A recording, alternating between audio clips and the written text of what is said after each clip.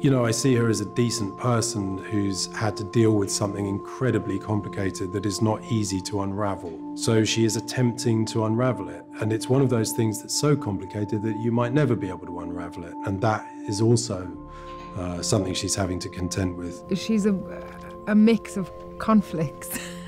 and at this moment in her life, she's looking to live and to live with permission in whatever chapter she chooses to move forward in. But the reality of actually that being possible is, as we all probably know in our own lives, is it's harder and um, you have to go on a journey with that. But she has a huge strength and she's a fighter. But when you threaten me into not divorcing you, that is exactly why we have to get divorced. And I am going to divorce you, okay? I am.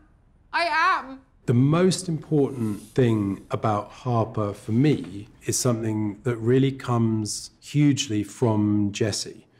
Uh, and it's to do with how she reacts to some of the things that she encounters.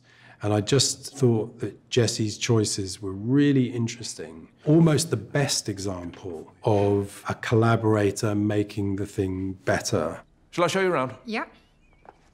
She'll often say, Let me try this, and then she'll do something which is really quite complicated and executed perfectly and just a first rate top class actor. What I've been sort of most struck by with Jessie Buckley is this sort of complete lack of self consciousness that she has. I genuinely think she is like the most exciting actress at the moment in Britain. She is completely unique, completely rooted in everything that she's doing, but with a freedom that just feels arresting and fresh.